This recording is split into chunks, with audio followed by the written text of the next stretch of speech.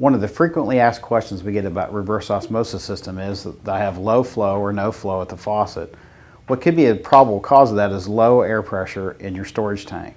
In order to check that, what you want to do is open up the tap and relieve all the pressure. If you pick up the tank and it feels really heavy, that's a good indication that you may have low air in the tank. You put air in the tank with the Schrader valve located on the bottom of it, and you will need a low pressure tire gauge to put the air in. If you don't have one of those, you can pick them up at the local ATV shop will have one. Uh, in order to put the air in the tank, what you're going to do is shut off the reverse osmosis system. You're going to leave the faucet open because you have to empty all the water out of the tank. If you're going to do this in place, leave the faucet open and you're going to start putting air into the tank until the tank is light and fills empty.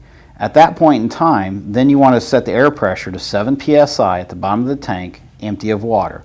Once you've done that, Put the Schrader valve cap back on, turn your water back onto the RO system, shut your faucet off, and you're finished.